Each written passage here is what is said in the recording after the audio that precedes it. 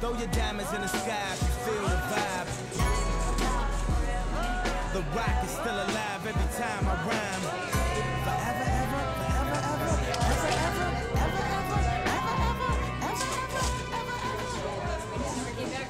It's just a study of the face. And the triplets, what it'll be is it'll be laid out. The twins will just be one on one. The triplets will actually be kind of on each of them. So it'll be oh, eightfold.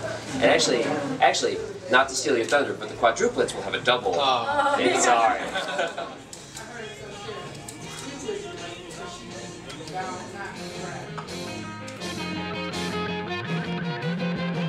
Dream on, dream on, dream on, dream on. title of your book and what it is about. I'm working on a book uh, that will be called Identical. Um, it's a book about twins and multiples, portraits side by side, twins photographed one by one rather than together. Uh, that kind of enables and invites people to compare faces. It's not so much about capturing the perfect expression.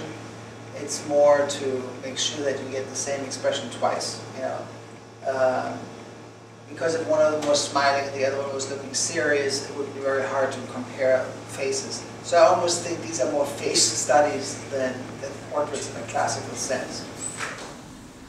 34.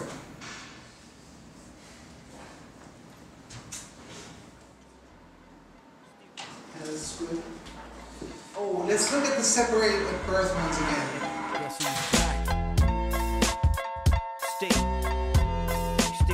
Shit, Andre? Oh, for sure.